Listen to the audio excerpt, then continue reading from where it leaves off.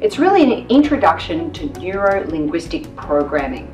How can we as coaches change our language, improve our language, enhance our language patterns to accelerate player performance? A quote that I heard recently out of a great movie in Red Sparrow is that as human beings, we are all puzzle pieces.